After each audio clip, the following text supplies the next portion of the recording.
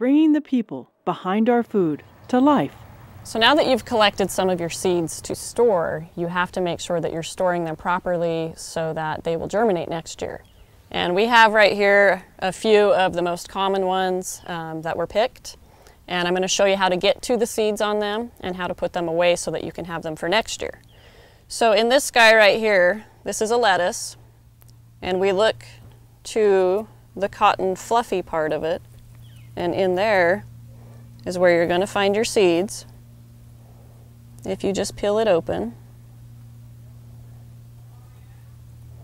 And you can see all these seeds that were attached to the fluff. So that's your lettuce seed for next year. Your beans are pretty easy because once your pods have dried out, all you do, and your peas will be the same way, is you pop into this guy, and that's your seed for next year. And you can tell that you have seed in it because you can see them from the outside. They've gotten swollen and the pod itself has dried out. Flowers, this is the calendula flower, are all going to have that seed underneath where the flower used to be at. So when we open this guy up, see all these little seeds in here? And that's your calendula flower for next year. Some of them are a little bit more entertaining, like the tomatoes. Tomatoes, you don't see the seed because it's actually inside of the tomato itself. So to get to it, what you'd want to do is you get a glass jar, about this big. You put about that much water in it, so like about an inch. And then you're going to cut your tomato open.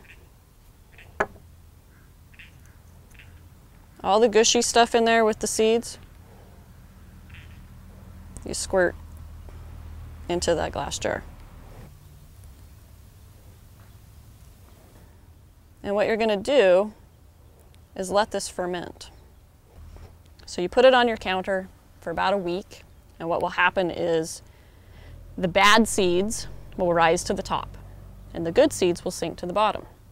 So after you've noticed that there's this funky stuff going on in there, you dump out the stuff on top, add a little bit more water, and continue to clean it out until all you have left is water and good seeds on the bottom of the jar.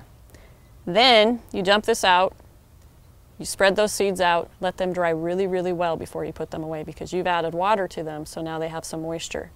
And that way you can save these tomato seeds for next year. Over here we have some mustards.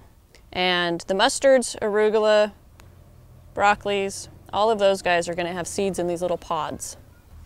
To get to the seed of them, you'd pop them open. Now this one's still green, so the seeds aren't quite ready yet. But if you look at one of these that's dried out, and you open it up, you see these little itty bitty tiny seeds, those little dots. And that's your seed for these.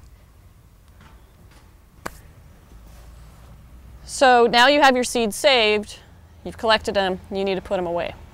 The best thing to use is going to be some sort of paper envelope. Plastic is your enemy. You do not want to use plastic bags. They trap moisture in, and any moisture that's trapped with your seed will cause that seed to try and germinate, and then you won't be able to plant it for next year. These are called coin envelopes. They work really well because of the size. These are your standard envelope. They work great too. Whichever one you're going to do, you want to write a couple of things down so that you know what it is next year when you pull it out. Um, on this I put the type, so it's a tomato, what the variety is, and the date. The reason why you want to do dates is because seeds are only viable, which means they will only germinate for two years. Now that is seeds that you've saved out of your space. It's also seeds that you've purchased at the store. So you need to know what your year is on that so that you only save them for two years. Other seeds like parsnips, you only get one year out of. But most of your standard seeds, you have two years, so it's very important to put your date down on this so that you don't hold on to seeds and plant them and nothing grows. Um, so you have your seeds in your envelope, you're ready to go. Now what do you do with them? The biggest enemies to saving seeds are moisture and temperature fluctuations. So the best and easiest way to combat that is to get a clean mason jar with a lid with a seal. Once you've got your envelopes labeled, your seeds are in here, and they've sealed at the back, you put these inside your jar. You put your lid on it, you put this in your freezer. The reason why we use freezers is because your temperature doesn't change that much in the freezer. Um, if you were to just set them somewhere in your house, chances are that your temperatures are going to go up and down a little bit. Your freezer is going to stay pretty much the same. So you've got your jar in the freezer. Next year, you're getting ready to plant. You want to pull this out of the freezer about a day or two days before you're going to plant. You leave the lid on it, you put it on your counter, and you let it sit there for 24 hours. Then you can come in, open the lid up, pull out the packets that you're going to use to plant, and you're ready to go.